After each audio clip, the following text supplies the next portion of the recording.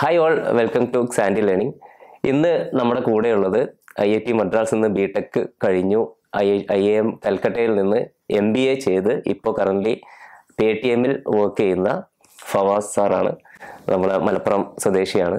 അപ്പോൾ ഫവാസ് സാറെ ഞാൻ ആദ്യമായിട്ട് സാൻഡി ലേണിംഗിലേക്ക് സ്വാഗതം ചെയ്യുന്നു. വെൽക്കം സോ നമുക്ക് ഐ ഐ ടി മദ്രാസിൽ നിന്ന് ബി ടെക് കഴിഞ്ഞിട്ട് അതുപോലെ തന്നെ അവിടെയുള്ള ബി ടെക് ഒരു ടെക്നിക്കൽ യൂണിവേഴ്സിറ്റിയിൽ നിന്നും ഡിഗ്രി കഴിഞ്ഞ് പിന്നീട് എം ബി എ ചെയ്യാനായിട്ട് ഒരു വേറൊരു മാനേജ്മെന്റ് സ്ട്രീമിലേക്ക് പോകുമ്പോൾ സ്വാഭാവികമായിട്ടും പല ആളുകളും ചോദിക്കാറുണ്ട് എന്തിനു വേണ്ടിയിട്ടാണ് പിന്നെ ആദ്യം തന്നെ ബി ടെക് എടുത്തത് അല്ലേ? അപ്പോൾ ഇവിടെ ഐ ഐ ടിയിൽ നിന്ന് ഈ ബി ടെക് കഴിഞ്ഞ് ഐ എമ്മിലേക്കുള്ള ആ ഒരു യാത്ര അതിലൂടെ എന്തൊക്കെയാണ് നേടിയത്? അല്ലെങ്കിൽ അതിന്റെ ഒരു സിഗ്നിഫിക്കൻസ് എന്തൊക്കെയായിരുന്നു? ഈ കാര്യങ്ങൾ നമുക്കൊന്ന് ഫവാസ് സാറോട് ചോദിക്കാം. ഈ ഐ ഐ ടി എന്ന് കേൾക്കുമ്പോൾ എല്ലാവർക്കും മനസ്സിൽ വരുന്നത് ചിലപ്പം ത്രീ ഇഡി ത്രീ ഇഡിയറ്റ്സ് എന്ന് പറയുന്ന സിനിമയിൽ ചിലപ്പം ആമീർ ഖാൻ എന്ന നടൻ ഒരു ഡയലോഗ് പറയുന്നുണ്ട്.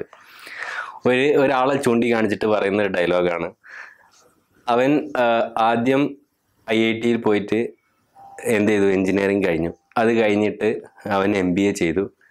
അത് കഴിഞ്ഞിട്ട് അവൻ ഇപ്പോൾ ബാങ്കിലാണ് ജോലി ചെയ്യുന്നത്. അവനൊരു കഴുതയാണ്. അപ്പോൾ എല്ലാവരുടെയും മനസ്സിലുള്ള ആൾ ഒരു ചിന്താഗതി എന്താണെന്ന് വെച്ച് കഴിഞ്ഞാൽ ഈ എഞ്ചിനീയറിംഗ് ഫീൽഡിലോട്ട് അല്ലെങ്കിൽ ഐ ഐ ടി പോലുള്ള സ്ഥാപനങ്ങളിലോട്ട് പോകുന്നത് എഞ്ചിനീയറിംഗ് ജോലികൾ മാത്രം ചെയ്യാനാണ്. എന്നാൽ അതല്ല ശരിക്കുള്ള ഒരു സിറ്റുവേഷൻ ഒരുപാട് പേര് ഐ ഐ ടി പോലുള്ള സ്ഥാപനങ്ങളിൽ നിന്ന് പോകുന്നത് പ്ലേസ്ഡ് ആകുന്നത് ജോലിക്ക് പോകുന്നത് മാനേജ്മെന്റ് സൈഡിലോട്ടോ ഫിനാൻഷ്യൽ സൈഡിലോട്ടോ അതുപോലെ തന്നെ അതിനോട് അതിനോടനുബന്ധമായ പല ഫീൽഡുകളിലാണ് ഒരു വിഭാഗം ആൾക്കാർ എഞ്ചിനീയറിംഗ് ഫീൽഡിലോട്ടും പോകുന്നുണ്ട്.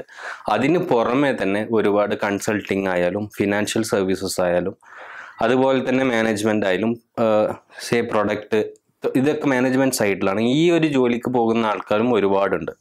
ഈ ഓപ്പർച്യൂണിറ്റീസ് ഒക്കെ കിട്ടുന്നത് ഇതുപോലുള്ള ഐ ഐ ടി പോലുള്ള സ്ഥാപനങ്ങളിൽ പോകുന്നത് ഒരുപാട് അവിടെ പഠിച്ച അലുമിനൈ നെറ്റ്വർക്ക് ഇതുപോലെയുള്ള സ്ഥാപനങ്ങളിൽ ജോലി ചെയ്യുന്നതുകൊണ്ട് ഐ ഐ ടി പോലെ സ്ഥാപനങ്ങളിൽ പോയി കഴിഞ്ഞാൽ ഈ ജോലികളിൽ കയറാനും വളരെ എളുപ്പമാണ്. മറ്റുള്ള സാധാ ഒരു കോളേജിൽ പോയി സേ ഒരു ബി കോം എടുക്കുന്നതോ അല്ലെങ്കിൽ അതുപോലെ തന്നെ ഫിനാൻഷ്യൽ കോഴ്സുകൾ എടുത്തിട്ട് ഈ ഒരു ഫീൽഡിലോട്ട് പോകുന്നതിനും വളരെ എളുപ്പമാണ് ഐ ഐ ടി പോലുള്ള സ്ഥാപനങ്ങളിൽ പോയിട്ട് ഈ ഫീൽഡിലോട്ട് മാറാവുന്ന ഈ ഫീൽഡിലോട്ട് ജോലി ചെയ്യുന്നത്. ഇത് ഒരുപാട് ഈ ഫിനാൻസ് സെക്ടറൊക്കെ പറയുകയാണെന്നുണ്ടെങ്കിൽ ഒരുപാട് ക്വാണ്ടിറ്റേറ്റീവ്ലി ഹെവി ആയിട്ടുള്ള ഫീൽഡുകളാണ്. അവിടെയും എന്താണ് ഐ ഐ ടി പോലെ ക്വാണ്ടിറ്റേറ്റീവ്ലി വളരെ സ്ട്രോങ് ആയിട്ടുള്ള കാൻഡിഡേറ്റ്സിനാണ് അവർക്ക് ജോലിയിലും ആവശ്യം. അപ്പോൾ അതുകൊണ്ടാണ് അവർക്ക് എപ്പോഴും ഒരു പ്രിഫറൻസ് നോക്കുമ്പോൾ ഐ ഐ ടി പോലെയുള്ള സ്ഥാപനങ്ങളിൽ പഠിച്ച ഐ ഐ ടികളിൽ നിന്നൊക്കെ പഠിച്ച ആൾക്കാരെ നോക്കുന്നത്. പിന്നെ ഐ ഐ ടി എന്തിനാണ് ഞാനൊരു എം ബി എ എടുത്തെന്നുള്ള ചോദ്യമാണെന്നുണ്ടെങ്കിൽ അത് ഞാനൊരു കഴുത ആയതുകൊണ്ടല്ല ഞാൻ എം ബി എ എടുത്തത്. ഉദ്ദേശം എന്തായിരുന്നു എന്ന് വെച്ച് കഴിഞ്ഞാൽ ഇതുപോലെ തന്നെ നമ്മുടെ പോകുമ്പോൾ നമ്മുടെ കരിയറിൽ ഓരോ അതായത് മാനേജ്മെന്റ് ഒരു ഇനീഷ്യൽ സ്റ്റേജിൽ നമ്മുടെ താഴെ ലെവലിലാണ് ജോലി തുടങ്ങുന്നത്. അപ്പം നമ്മൾ ആര് ആരെങ്കിലും ഒരു ഉന്നതനായ ഒരു എന്താ ഓർഗനൈസേഷനിൽ ഒന്നും കൂടി ഹയർ ലെവലിലുള്ള ആളെയാണ് നമ്മൾ റിപ്പോർട്ട് ചെയ്യുന്നത്. അവരാണ് നമ്മുടെ ഓർഗനൈസേഷന്റെ കാര്യങ്ങളൊക്കെ മാനേജ് ചെയ്യുന്നത്. അപ്പം അത് മാനേജ് ചെയ്യാന്ന് പറഞ്ഞു കഴിഞ്ഞാൽ അതൊന്നും കൂടെ ഡിഫിക്കൽട്ട് ആയിട്ടുള്ള ഒരു ആണ്. അതിന് ഒന്നും കൂടെ എന്ത് ചെയ്യണം? കുറച്ചും കൂടി നോളജ് വേണം. അതായത് എങ്ങനെ ഓർഗനൈസേഷൻ എങ്ങനെ ആൾക്കാരെ മാനേജ് ചെയ്യണം? ഇതൊക്കെ എന്ന് പറഞ്ഞു കഴിഞ്ഞാൽ ഈ ഈ ഒരു വിവരം ഈ ഒരു കാര്യം പഠിക്കാൻ വേണ്ടിയാണ് ഞാൻ എന്ത് ചെയ്ത്? ഐ എം പോലുള്ള സ്ഥാപനത്ത് പോയി എന്ത് എം ബി എടുക്കാൻ തീരുമാനിച്ചത്. പിന്നെ അതുപോലെ തന്നെ I I T B tech ചെയ്ത സമയത്ത് അപ്പോൾ നമ്മൾ ബി ടെക്കിന് വേണ്ടി ഒരുപാട് പ്രിപ്പറേഷൻ വേണമല്ലോ ഐ ഐ ടിയിലേക്ക് അഡ്മിഷന് വേണ്ടിയിട്ട്. അപ്പോൾ ആ സമയത്തുള്ള പ്രിപ്പറേഷനും അതുപോലെ തന്നെ ബി ടെക് കഴിഞ്ഞിട്ട് ഐ എമ്മിലേക്ക് എം ബി എക്ക് വേണ്ടിയിട്ട് പ്രിപ്പയർ ചെയ്തല്ലോ. അത് തമ്മിൽ എന്തൊക്കെയാണ് സിമിലാരിറ്റീസ് അല്ലെങ്കിൽ അതിലുള്ള ഡിഫറൻസുകൾ എന്തൊക്കെയാണ്? അല്ലെങ്കിൽ ഇങ്ങനെ ഇത് രണ്ടിനും പ്രിപ്പയർ ചെയ്യുന്ന ഒരു സ്റ്റുഡന്റ് എന്തൊക്കെ കാര്യങ്ങളാണ് അതിൽ ശ്രദ്ധിക്കേണ്ടത്?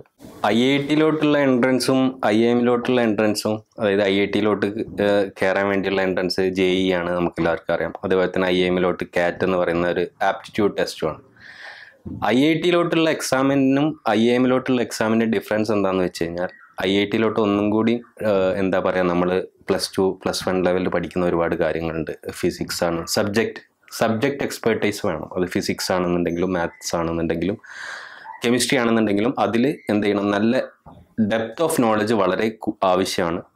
ഐ ഐ ടിയിലോട്ടുള്ള എൻട്രൻസ് എക്സാമിനേഷൻ ക്ലിയർ ചെയ്യാം അപ്പം ആ പ്രിപ്പറേഷൻ എങ്ങനെയായിരുന്നു എന്ന് ചോദിച്ചു കഴിഞ്ഞാൽ നമ്മൾ എന്ത് ചെയ്യണം വളരെ ചെറുപ്പത്തിൽ തന്നെ തുടങ്ങണം. കഴിയുന്നത് അത്രയും നമ്മുടെ ആ ആപ്റ്റിറ്റ്യൂഡ് ഉണ്ടല്ലോ മാത്തമാറ്റിക്സ് ആയാലും ആ ബേസ് വളരെ സ്ട്രോങ് ആവണം അതിനു വേണ്ടി ഒരു പത്താം ക്ലാസ്സിലൊക്കെ എത്തുമ്പോൾ തന്നെ മനസ്സിലാവും. പത്താം ക്ലാസ്സിലൊക്കെ എത്തുമ്പോൾ നമ്മളെ മാത്സിൽ നല്ല മാർക്ക് നമുക്ക് സ്കോർ ചെയ്യാൻ പറ്റുന്നുണ്ട്. നമുക്കൊരു ഇത് എല്ലാ പ്രോബ്ലംസും നമുക്ക് ബുദ്ധിമുട്ടില്ലാതെ സോൾവ് ചെയ്യാൻ പറ്റുന്നുണ്ടെങ്കിൽ തന്നെ നമുക്ക് ഏകദേശം മനസ്സിലാവും നമ്മുടെ എത്രത്തോളം ആ ഒരു ക്വാണ്ടിറ്റേറ്റീവ് ആപ്റ്റിറ്റ്യൂഡ് നമുക്ക് ക്വാണ്ടിറ്റേറ്റീവ് ആയിട്ട് നമ്മൾ എത്രത്തോളം ഏബിൾ ആണെന്നുള്ള കാര്യം നമുക്ക് മനസ്സിലാവാൻ പറ്റും.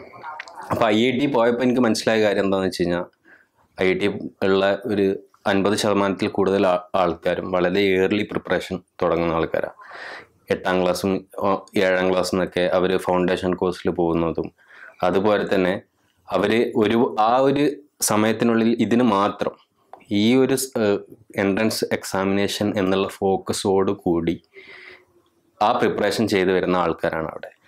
ഐ എമ്മിലോട്ടുള്ള എൻട്രൻസ് എന്ന് പറഞ്ഞു കഴിഞ്ഞാൽ ഒരു ഐ ഐ ടിന്ന് പഠിച്ചിറങ്ങിയ ഒരാളെ സംബന്ധിച്ചിടത്തോളം ഈ കാറ്റ് പോലുള്ള എക്സാമ്പിൾ വളരെ എളുപ്പമാണ്. കാരണം എന്താണെന്ന് വെച്ച് കഴിഞ്ഞാൽ ക്വാണ്ടിറ്റേറ്റീവ് പാർട്ട് ഒരു ജെ ഇ ക്ലിയർ ചെയ്ത ഒരാളെ സംബന്ധിച്ചിടത്തോളം വളരെ എളുപ്പമാണ്. കാരണം അതിലുള്ള മാത്സിന്റെ ഒരു മേ ബി പത്ത് ശതമാനം പോലും ആവശ്യം ഉണ്ടാവില്ല. നമ്മളെ പ്രിപ്പറേഷൻ ആവശ്യമില്ല ഒരു കാറ്റ് പോലുള്ള എക്സാമിന് പക്ഷെ അതിന് വേറെ ഇതുണ്ട്. അത് നമ്മൾ എന്ത് ചെയ്യാൻ പറ്റും? നമ്മൾ എത്രത്തോളം കേപ്പബിൾ ആണ്? ഇന്റലക്ച്വലി എത്രത്തോളം കേപ്പബിൾ ആണെന്നുള്ളൊരു കാര്യമാണ്.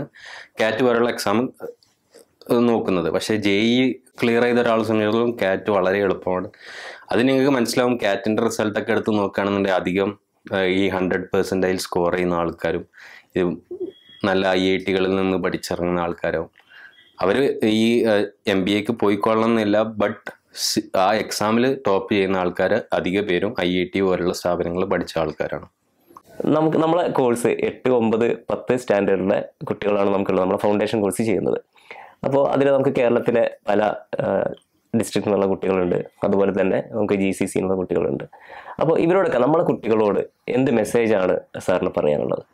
അപ്പോൾ ഈ എട്ട് ഒമ്പത് പത്ത് ക്ലാസ്സിൽ കുട്ടികളോട് പറയാനുള്ള ഒരു കാര്യം എന്താണെന്ന് വെച്ച് കഴിഞ്ഞാൽ ഇപ്പോൾ നോക്കുകയാണെന്നുണ്ടെങ്കിൽ ഞാൻ പഠിച്ച സമയത്തുള്ളതിനേക്കാളും ഒരുപാട് വ്യത്യസ്തമാണ് ഇപ്പോഴത്തെ ഒരു പ്രിപ്പറേഷൻ സ്റ്റൈൽ ഇപ്പോൾ അന്നുള്ള പോലെ ഒന്നല്ല. ഇപ്പോൾ എല്ലാവരും ഫൗണ്ടേഷൻ കോഴ്സുകളെ കുറിച്ച് അറിയാവുന്ന ആൾക്കാരാണ്.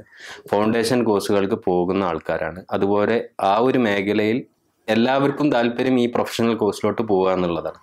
അപ്പോൾ എല്ലാവരുടെയും ഒരു ഇൻട്രസ്റ്റ് ആ ഒരു ലെവലിൽ അലൈൻഡ് ആയതുകൊണ്ട് എല്ലാവരും ഫൗണ്ടേഷൻ കോഴ്സുകൾക്ക് പോകുന്ന ആൾക്കാരാണ്. അപ്പോൾ ഇപ്പോൾ കോമ്പറ്റീഷൻ ലെവൽ നോക്കുകയാണെന്നുണ്ടെങ്കിൽ ഇപ്പോൾ നമ്മൾ നേരത്തെ തുടങ്ങിയില്ല എന്നുണ്ടെങ്കിൽ നമ്മൾ അത്രയും കോമ്പറ്റീഷനിൽ പുറകിലായി പോകും. അതായത് എത്രത്തോളം വൈകി തുടങ്ങുന്നു അത്രത്തോളം നമ്മൾ അത്രയും ഭാഗം നഷ്ടപ്പെടുകയാണ്. നമ്മൾ ആ കോമ്പറ്റീഷനിൽ നമ്മളൊരു ഇത് ഒരു സ്പ്രിന്റ് എവന്റ് അല്ല ഇതിപ്പോൾ ഒരു മാരത്തൺ ലെവലാണ് ആരാണോ ഏറ്റവും കൂടുതൽ ആ ഇതിന് പ്രിപ്പയർ ചെയ്തത് ആ മാരത്തൺ എന്ന് പറഞ്ഞു കഴിഞ്ഞാൽ സ്പ്രിന്റ് ഓടുന്ന പോലെ അല്ല.